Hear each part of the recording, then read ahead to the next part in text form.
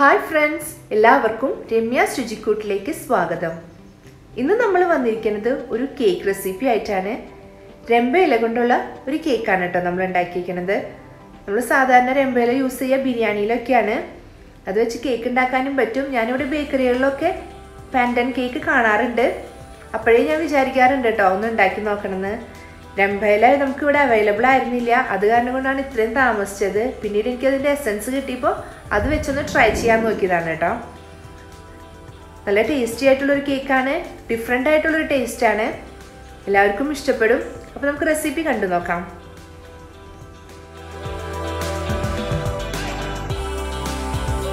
ആദ്യം തന്നെ കേക്ക് ഉണ്ടാക്കാനായിട്ട് ഞാൻ കേക്ക് മോൾഡുകൾ പ്രിപ്പയർ ചെയ്ത് വെച്ചിട്ടുണ്ട്. ഇത് ഇതുപോലെയുള്ള സിലിക്കൻ മോൾഡ് ഉണ്ട്. അതിലൊക്കെ നന്നായിട്ട് ഓയിൽ സ്പ്രെഡ് ചെയ്ത് വെച്ചിരിക്കുന്നതാണ് കേട്ടോ. പിന്നെ അലുമിനിയത്തിന്റെ കപ്പ് കേക്ക് മോൾഡ് ഉണ്ട് അതല്ല വെച്ചിട്ടുണ്ടെങ്കിൽ ഇതുപോലെയുള്ള കപ്പ് കേക്കിന്റെ മോൾഡുകൾ വേണമെങ്കിലും യൂസ് ചെയ്യാം കേട്ടോ. ഇതൊന്നും പറ്റിയില്ല വെച്ചിട്ടുണ്ടെങ്കിൽ നിങ്ങൾക്ക് സ്റ്റീലിന്റെ കട്ടോരികളുണ്ടല്ലോ ചെറുത്. അതും യൂസ് ചെയ്യാം. ഇതുപോലത്തെയൊക്കെ തന്നെ വേണമെന്ന് ഒരു നിർബന്ധമില്ല ഇത് കാണാനുള്ള ഭംഗിക്ക് വേണ്ടി മാത്രം ഇതുപോലെയുള്ളതൊക്കെ എടുത്തുന്നേ ഉള്ളൂ. നിങ്ങൾക്ക് എന്തിൽ വെച്ച് വേണമെങ്കിലും ഇത് ആവിയേറ്റെടുക്കാൻ പറ്റും കേട്ടോ. ഇനി നമുക്ക് കേക്ക് ബീറ്റ് ചെയ്ത് തുടങ്ങാം. അതിന് വേണ്ടിയിട്ട് ഒരു മിക്സിംഗ് ബൗളിലേക്ക് രണ്ട് എഗ്ഗ് പൊട്ടിച്ചൊഴിക്കണം.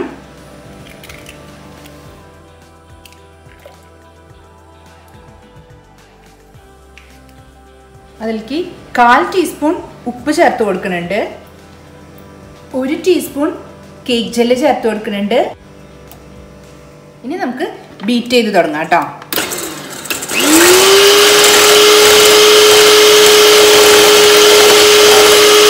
ജസ്റ്റ് കുറച്ച് സെക്കൻഡ്സ് ബീറ്റ് ചെയ്തതിന് ശേഷം ഒരു കപ്പ് പഞ്ചസാരയാണ് എടുത്തിരിക്കുന്നത്. പഞ്ചസാര നിങ്ങൾക്ക് തോന്നും കൂടുതലാണെന്ന് പക്ഷേ ഇത് കറക്റ്റാണ് കേട്ടോ. കാരണം ഞാൻ എപ്പോഴും മധുരം കുറച്ചെടുക്കുന്ന ആളാണ്. പക്ഷേ ഈ കേക്കിന് ഇത്രയും മധുരം ചേർത്താലേ ടേസ്റ്റ് ഉണ്ടാവുള്ളൂ. അത് കുറേശ്ശെയായിട്ട് ചേർത്ത് കൊടുത്ത് നമുക്ക് ബീറ്റ് ചെയ്തെടുക്കാം.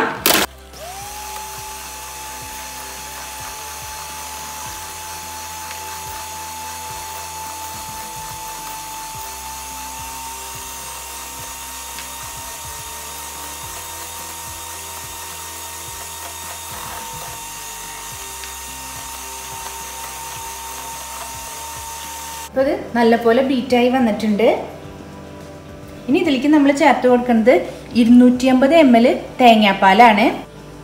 ഇത് നല്ല തിക്കായിട്ടുള്ള തേങ്ങാപ്പാലൊന്നും അല്ല കേട്ടോ ഒന്നാം പാലും രണ്ടാം പാലും കൂടെ എടുത്തിട്ടുള്ളതാണ്. അടുത്തതായിട്ട് നമ്മൾ ചേർക്കുന്നത് പണ്ടൻ എസൻസ് ആണ്. നിങ്ങൾക്ക് പണ്ടൻ ലീവ്സ് കിട്ടുകയാണെന്ന് വെച്ച് കഴിഞ്ഞിട്ടുണ്ടെങ്കിൽ അത് മിക്സിയിൽ കുറച്ച് വെള്ളം ചേർത്ത് അടിച്ച് ചേർത്താൽ മതി. എസൻസ് ചേർക്കേണ്ട ആവശ്യമില്ല. പക്ഷെ എനിക്ക് കിട്ടാത്തത് കാരണം കൊണ്ടാണ് ഞാൻ എസൻസ് ചേർക്കണത്. എസൻസിൽ തന്നെ കളറും ഉണ്ട്. അത് കാരണം കൊണ്ട് പിന്നെ നമ്മൾ സെപ്പറേറ്റ് കളർ ചേർക്കേണ്ട ആവശ്യമില്ല കേട്ടോ. എന്നിട്ട് നമുക്കിതൊന്ന് മിക്സ് ചെയ്തെടുക്കാം. ലോ സ്പീഡിൽ വേണം മിക്സ് ചെയ്യാൻ ഇനി ഞാൻ ഇതിലേക്ക് അര ടീസ്പൂൺ ബേക്കിംഗ് പൗഡർ ചേർത്ത് കൊടുക്കുന്നുണ്ട്. എന്നിട്ടൊന്ന് ജസ്റ്റ് മിക്സ് ചെയ്തെടുക്കാം കേട്ടോ.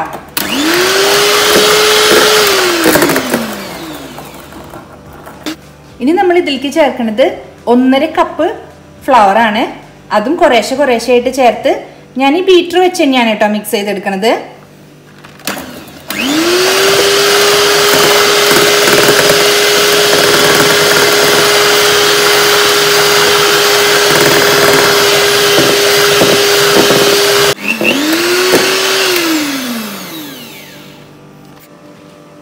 ഞാൻ ഫ്ലവർ മുഴുവനും മിക്സ് ചെയ്തെടുത്തിട്ടുണ്ട് കേട്ടോ. ഇനി ഇത് നമുക്ക് ഓരോ മോൾഡുകളിലേക്ക് ഒഴിച്ചു കൊടുക്കാം.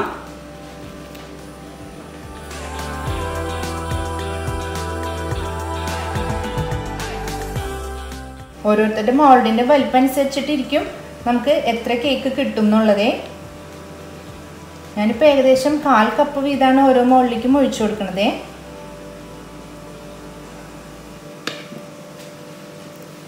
ഞാൻ ഈ സ്റ്റീമറിലേക്ക് വെച്ച് കൊടുത്തിട്ടുണ്ട്.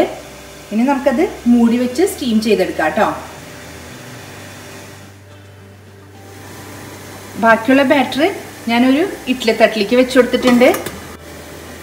പിന്നെ ഇങ്ങനെ ഒരു സ്റ്റീമറിലേക്കും വെച്ച് കൊടുത്തിട്ടുണ്ട് കേട്ടോ നമ്മളുടെ കേക്കൊക്കെ റെഡിയായി വന്നിട്ടുണ്ട് കേട്ടോ ചൂടാറിയതിന് ശേഷം ഇത് നമുക്ക് ഡിമോൾഡ് ചെയ്യാം. കേക്കൊക്കെ ഞാനിപ്പോൾ ഡിമോൾഡ് ചെയ്തെടുത്തിട്ടുണ്ട്. എപ്പോഴും നമ്മൾ സ്റ്റീം ചെയ്യുമ്പോൾ ചെറിയ മോളിൽ വെച്ച് സ്റ്റീം ചെയ്യുന്നതാണ് കേട്ടോ നല്ലത്. അപ്പോഴാണ് നന്നായിട്ട് കിട്ടുക. അല്ലാന്നുണ്ടെങ്കിൽ കുറച്ച് ഹാർഡായി പോകും. ഇപ്പോൾ അതായത് കണ്ടോ? നല്ല സോഫ്റ്റ് ആയിട്ട് കിട്ടിയിട്ടുണ്ട്. നല്ല ടേസ്റ്റിയാണ് കേട്ടോ കഴിക്കാനായിട്ട്. ഒരു ഡിഫറെന്റ് ടേസ്റ്റാണ് ഇപ്പോൾ എല്ലാവരും ഉണ്ടാക്കി നോക്കണം. ഇഷ്ടപ്പെടുകയാണെന്നുണ്ടെങ്കിൽ വീഡിയോ ലൈക്ക് ചെയ്യണം. ചാനൽ സബ്സ്ക്രൈബ് ചെയ്യണം. ഫ്രണ്ട്സിന്റെയും ഫാമിലിയുടെയും കൂടെ ഷെയർ ചെയ്യാനും മറക്കരുത് കേട്ടോ. ഇനി അടുത്ത വീഡിയോയിൽ കാണുന്നത് വരയ്ക്കും. Good bye thank